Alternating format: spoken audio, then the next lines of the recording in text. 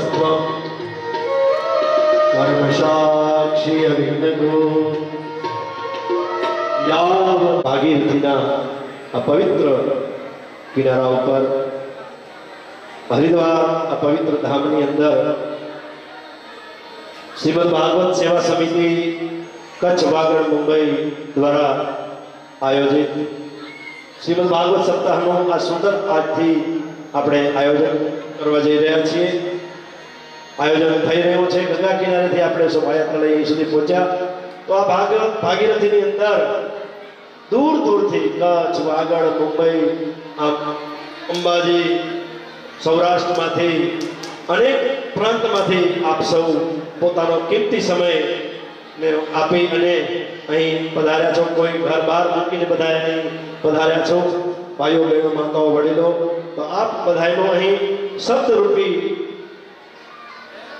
આ પુષ્પથી આપ સર્વનું આ શ્રીમદ ભાગવત સેવા સમિતિ દ્વારા હાર્દિક હાર્દિક સ્વાગત અસ્તુ જય ગિરનાર ઈ ધરા પરંતુ માં નર્મદાના નીરના કારણે હરિયાળી બન્યું હોય એવી ધરા ઉપર ખૂબ નાની ઉંમરમાં કહી શકાય કે સંસ્કૃતિ માટે થઈને, ગાય માતા માટે થઈને પોતાનું જીવન સમર્પિત કર્યું હોય એવા પૂજ્ય વિપુલભાઈ શાસ્ત્રીજી, તેઓ નાનકડા વાગડના છોટાપાની ઉંમરની અંદર એમનો જન્મ થયો.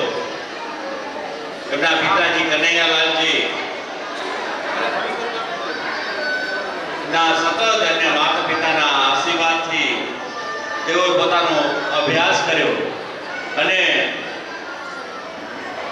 વેદો સાથે એમને શાસ્ત્રી સુધીનું પોતાનું શિક્ષણ મેળવ્યું.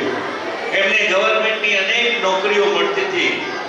પરંતુ એમને એમ થયું કે મારા એકલા માટે નહીં, પરંતુ આ સંસારના જેટલા પણ લોકો હોય એવા લોકો પશુ પક્ષીઓ માટે, ગાય માતા માટે મારું જીવન સમર્પિત કરું. અને એવા પૂજ્ય સંધ્યાગીરી બાપુ વેદ વિદ્યાલય ખાતે, તેઓએ પોતાનું લગભગ વીસ વર્ષ સુધીનું જીવન ત્યાં સમર્પિત કર્યું. અને એમના સમર્પિત જીવનના અનેક લોકો, અનેક વિદ્યાર્થીઓ આ સંસ્કૃતિ માટે ત્યાંથી આપણા માટે જેને કહી શકાય કે વેદો સાથે ત્યાં પેદા થયા અને આજે એ ભૂમિ પણ, તીર્થભૂમિ જેવી ભૂમિ બે હજાર ત્રણની અંદર એક નાનકડા તંબુ નગરીમાંથી શરૂઆત થઈ હતી. એવા પોતાના જીવનમાંથી આજે અનેક જગ્યાએ દેશ વિદેશોમાં એમની કથાઓ થતી હોય, સત્સંગો થતા હોય, એવા પૂજ્ય વિપુલભાઈના ચરણોમાં મારા કોટી કોટી દંડવત પ્રણામ છે. આપણે સૌ અહીંથી વેદ વ્યાસના પૂજન થશે, પૂજ્ય શાસ્ત્રીજીનું પૂજન થશે. સાથે સાથે હું અહીં કને જે અઢારે અઢાર પહોંચી છે, એમના યજમાનોના ઓમ સ્વસ્તિ ના ઇન્દ્રો વ્રત સરાવા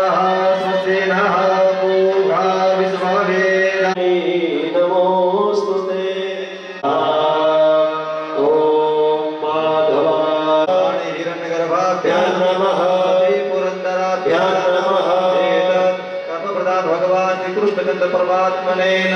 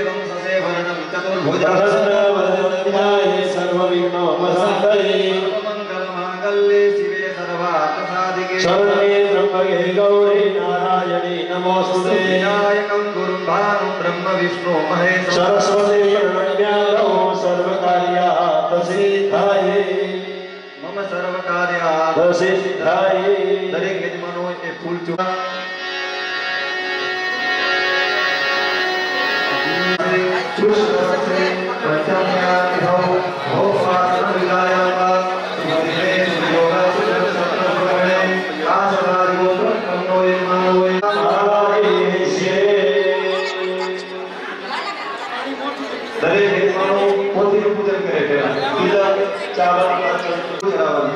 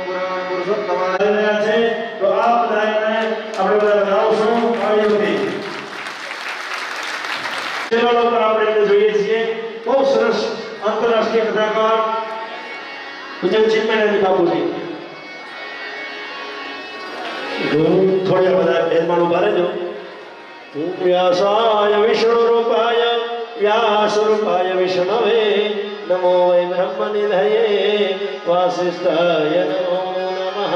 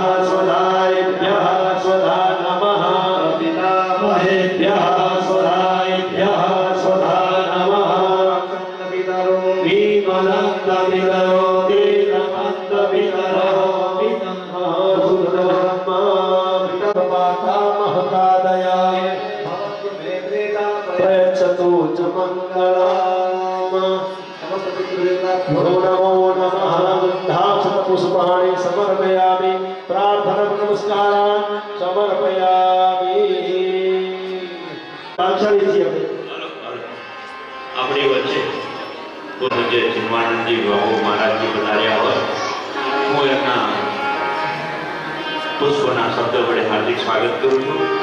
આપણા કચ્છની પરંપરા છે કે જ્યારે આપણા આંગણે મહેમાનો આવતા હોય, ત્યારે આપણે એમનું સત્કાર અને સન્માન કરતા હોઈએ. પરમ પૂજ્ય શુક્રાનંદગીરી બાબુને હું વિનંતી કરીશ કે આપ વ્યવસ્થાને નહીં વધારો. પૂજ્ય વિપુલભાઈ શાસ્ત્રીજી એમનો સત્કાર અને સન્માન તિલક દ્વારા કરશે યા કવિ ચરાચરમ તાળીઓ લાગો. શ્રી ગુરવે નમઃ પૂજ્ય પ્રગતિ મહારાજ ગઢઈ હનુમાનજી રામ તેઓ પણ સંસ્કૃતિ માટે સતત દેશ વિદેશમાં આપણી ભારતીય સંસ્કૃતિને ઉજાગર કરવાનું કામ કરતા હોય સતત વિદેશોમાં રહીને આપણી સંસ્કૃતિ ઉજાગર કેમ રહે એવું એમનું ધ્યેય હોય છે એવા પૂજ્ય સુભાગીરજી મહારાજનું અહીંયા વિપુલભાઈ સ્વાગત અને સન્માન કરી રહ્યા છે તાળીઓના કકડાટથી વધાવીએ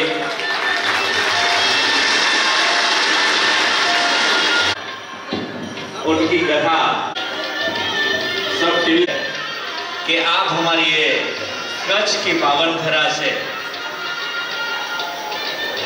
लगभग हज़ार लोग से ज़्यादा लोग यहाँ पे आए हैं और उनके बीच आप, हमारे बीच पधारे हैं तो हम आपका बहुत बहुत अभिवादन के साथ स्वागत करते हैं और आपको मेरी नम्र विनती है कि आप राजस्थान स्थान पे पधारिए चिन्मानंद जी महाराज, मैं विनती करता हूँ और विपुल भाई शास्त्री जी हमारा भागवत सप्ताह सप्ताह ज्ञान यज्ञ समिति के माध्यम से आपका स्वागत। ખૂબ સરસ. ચિન્મયાનંદજી બાપુજી. ઘણા વર્ષો પહેલા મહેમદાવાદમાં હતા હમણાં ગુજરાતની અંદર મહેમદાવાદ મહેમદાવાદમાં પણ ઘણા વર્ષો રહ્યા છે. અને એમની કથા સાંભળી જીવનનો લાવો છે આપણા માટે. ખૂબ સરસ. વાસીઓથી ભરાઈ ચૂક્યો છે. ત્યારે આપ સૌને મારી થોડીક વિનંતી છે કે એક તો આપણે ત્યાંથી આવ્યા છીએ, ત્યારે આપણી કઈ ઓળખ બિલો આપણી વાગડની દેશી ભાષામાં કહીએ તો બિલો એ ગળાની અંદર રાખવો ફરજિયાત છે. કોઈ પણ લોકોએ રૂમમાં ભોજન લઈ જવું નહીં. કારણ કે ભોજનની વ્યવસ્થા સરસ રીતે રાખવામાં આવી છે. એકદમ બુર્જક હોય સાવ ચાલી ન શકે એના માટે પણ કદાચ હોય તો પણ તમારે કથા સમિતિને કહેવાનું કે અમને આ તકલીફ છે અને ત્યાંથી રજા મળે તો જ તમારે ભોજન ત્યાં લઈ જવાનું છે. બધાએ ભોજન લેવા માટે અહીં કને ભોજન ગૃહમાં આવવાનું છે. સાંજે કોઈ પણને દૂધ મળશે નહીં અહીંથી. દૂધ આપણને જરૂરિયાત હોય તો બહારેથી લઈ લેવું. વ્યવસ્થાને આપ સૌ માન આપશો અને આપ સૌ માટે સુંદર વ્યવસ્થા થઈ છે. પરંતુ ક્યાંય પણ નાની મોટી અવગણ હોય તો તમારો પોતાનો આ પ્રસંગ છે. અને આ ભાઈને એટલી સુંદર મજાની વ્યવસ્થાઓ છે કે આપણાને જાતે પણ ભોજન મળશે. સરસ બધી વ્યવસ્થાઓ છે, પણ છતાં પણ ક્યાંય નાની અવગણના હોય તો પણ એને સ્વીકાર કરીને કથા નાની એકદમ આયા છે, ત્યારે વ્યવસ્થાને તમે શિરે ચડાવજો. નાની મોટી ક્યાંય પણ સતી રહી ગઈ હોય તો તમારો પ્રસંગ સમજીને આપ એને માન આપશો. અને કથા નાની યજ્ઞની અંદર આપણે સૌ આવ્યા છીએ. કોઈનો નાનકડો મોટો કાંઈ પણ હિસાબ બાકી હોય, ત્યારે આપણા અઢાર નંબરના રૂમમાં હિસાબ સમિતિમાં અમારા મહેશભાઈ, અનિલભાઈ, પ્રભુભાઈ શેઠ, બકાભાઈ ઉમિયાશંકરજી સૌ વ્યવસ્થા સમિતિના ભાઈઓ ત્યાં કરે હોય છે, એમને આપનો હિસાબ ત્યાં આપી દઈશું.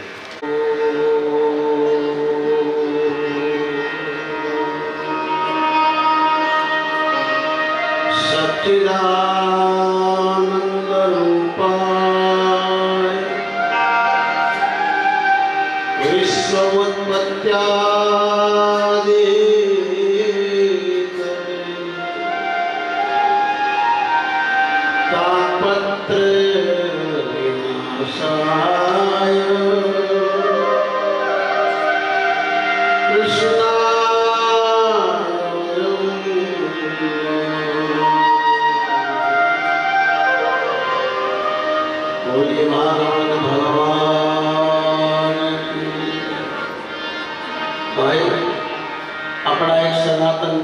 જય બોલાય છે બીજા કોઈ ધર્મમાં જય બોલાતી નથી કારણ કે બીજો કોઈ ધર્મ નથી જય બોલવાથી આપણા પાપો બહાર નીકળે છે આવું ભગવાન વ્યાસ બોલ્યા છે પછી તમારી જેવા એ પૂછ્યું વ્યાસને કે પાપ બહાર નીકળે તો ક્યાં જાય કે જે જે બોલે એમાં ઘૂસી જાય માટે નારાયણમ નમસ્તિત્યમ નરો ચેવ નરોત્તમ દેવી સરસ્વતી વ્યાસો જય બોલીએ છે. માટે જય બોલો બોલો ભાગવત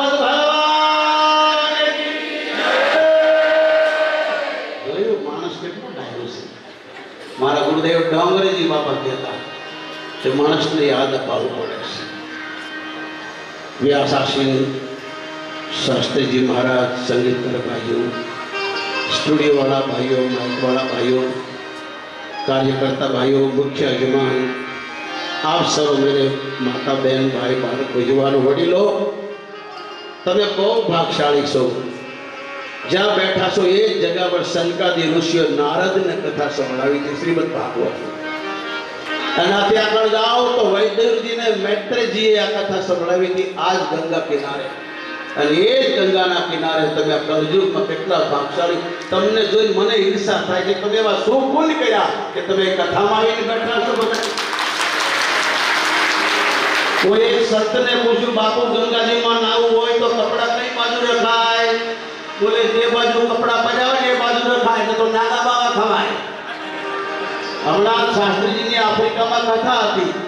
તે બોલાઈ ગયું કે ભાઈ કોઈ તકલીફ હોય, કોઈ નાના બાવાનો આશીર્વાદ મળી જાય, તો બેડો પાર થઈ જાય, તો આફ્રિકાનો બહુ મોટો કાપા મિલની મિલનો માલિક એ આવી ગયો અગલા સાલે તૂટ ગયો કે કોઈ નાગા બાવાના ચરણમાં પગડ પડીએ ને આશીર્વાદ મળી જાય.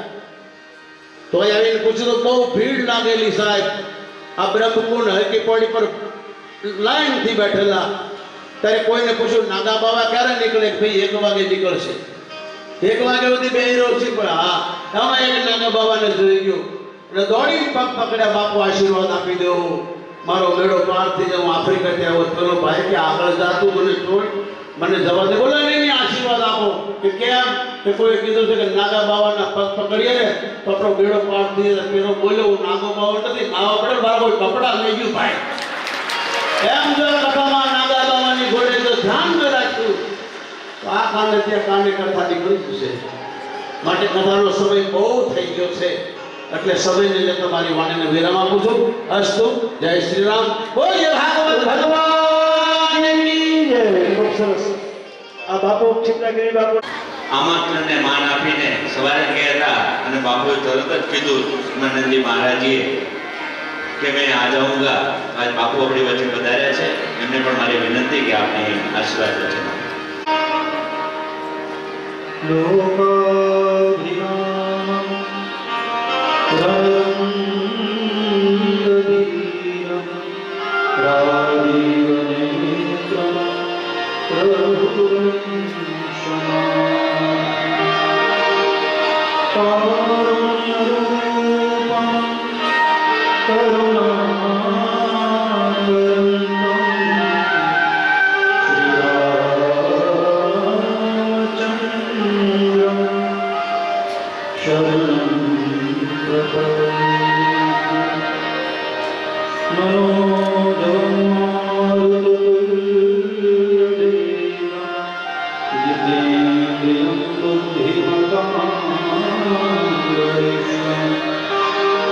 शरण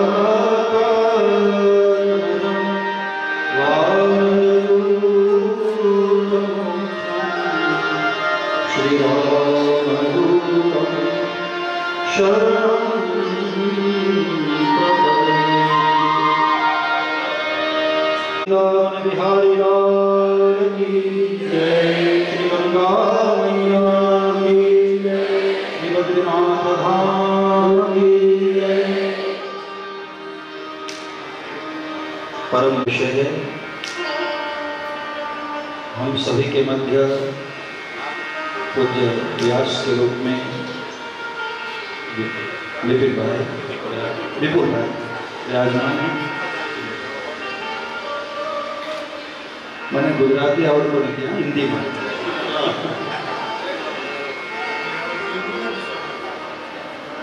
आप सभी कच्छ गुजरात क्षेत्र से जो भी यहाँ पधारे हैं, आप सभी का मेरा ये अपना शहर है हरिद्वार। तो मेरे अपने शहर में आप सभी लोगों का बहुत बहुत स्वागत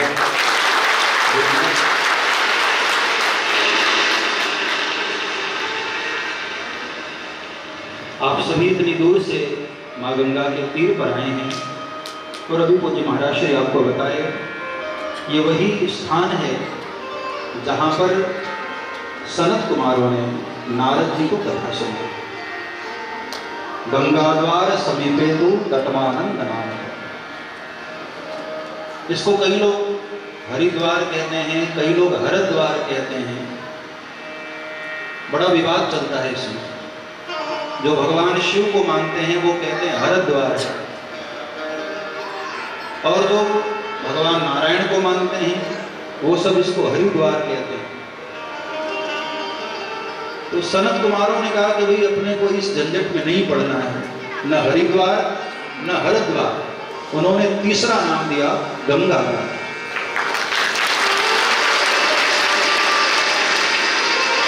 और ये कितने सौभाग्य की बात है।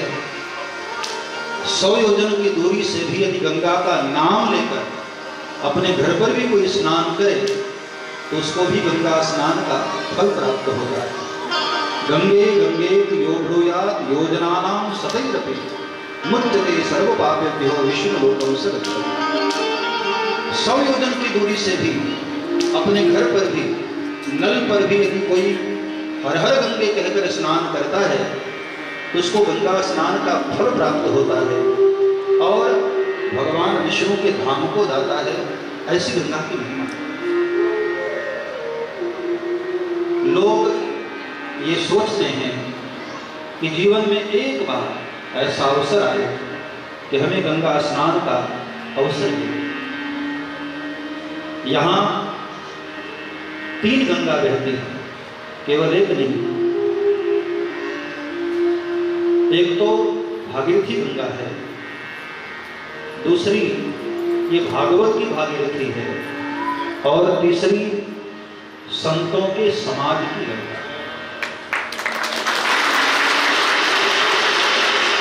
इसीलिए किसी भी तीर्थ स्थान में जब कथा होती है तो कथा की महिमा अनंत गुना बढ़ जाती है।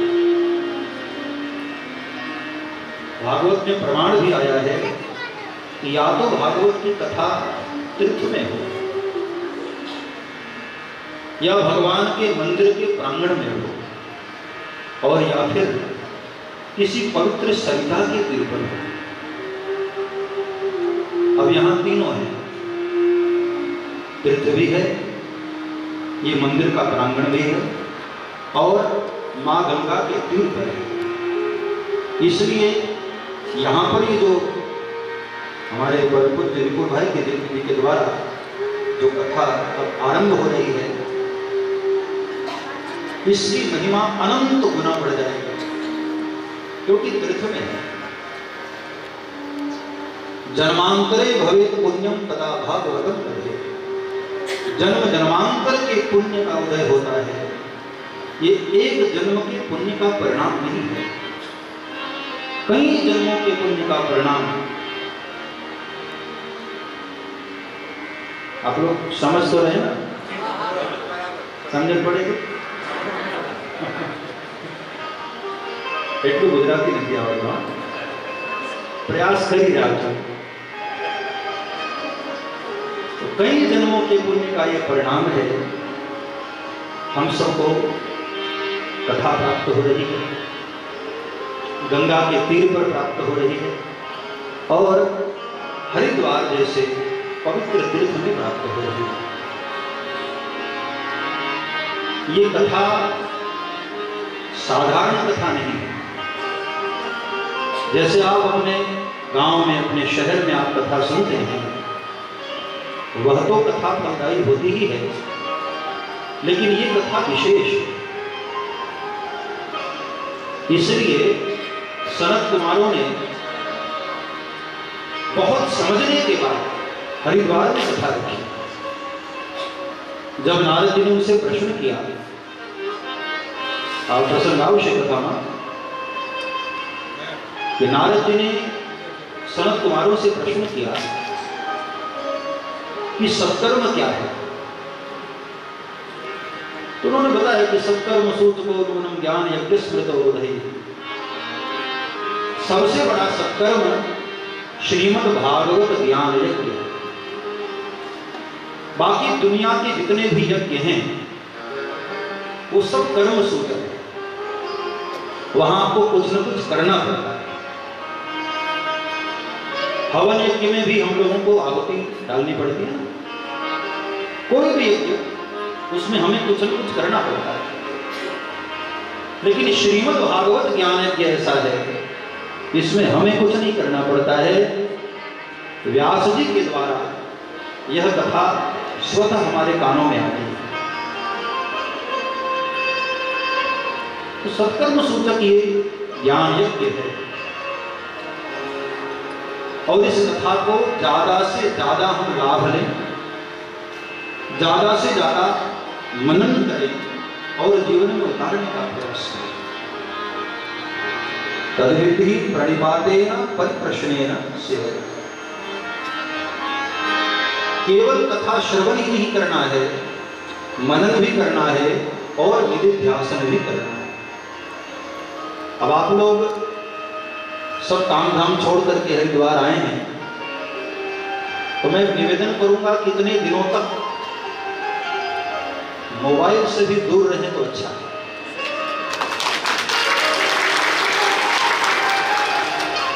જેટલું થઈ શકે दूर रहे तो अच्छा है क्योंकि ये मोबाइल बहुत झूठ बोलवाता है बहुत झूठ बोलवा जब से मोबाइल आया ना तब से लोग झूठ बहुत बोलने लगे घर के बाथरूम में बैठे होते और कहते हैं सूरत में हम्म? कितना कितना झूठ बोलते हैं तो जितना हो सके मोबाइल से भी हम दूर रहें। और ज़्यादा से ज़्यादा कथा के प्रसंग का चिंतन करें। भगवान की कथा बहुत जन्मों के पुण्य के बाद प्राप्त होती है। भगवताम रोक्तम भागवतम। भगवान ने जिसको गाया है, ये वो कथा है। और भगवान के मुख से निकली है ना इसलिए प्रसाद। और प्रसाद हमारे लिए बहुत पूजनीय है, आदरणीय। है इसलिए आप यहाँ बैठे होते हैं तो व्यास के मुख से आपके कानों में भगवान का प्रसाद जाता है। इसलिए भागवत का अधिकारी हर कोई नहीं होता। जिस पर भगवान की अति कृपा होती है, अति हरि कृपा जाहि पर हो। पाव दे यही मार्ग से गोस्वामी तुलसीदास जी ने मानस ने कहा, अति हरि कृपा पर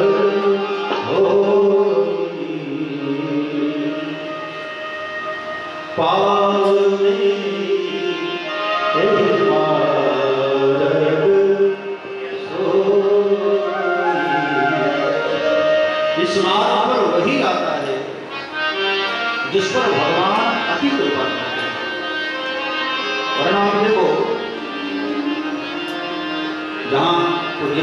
का आश्रम है।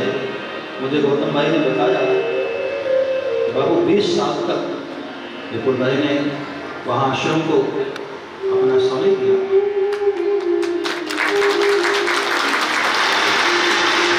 पूरी तपस्या की, पूरी मेहनत की आश्रम के लिए। आश्रम का अर्थ ही होता है जहाँ सभी को आश्रय मिले। कोई भी अतिथि हो, कोई भी ब्राह्मण कटुक हो, कोई भी संत हो। जहाँ सभी को आश्रय मिले, वही तो आश्रम।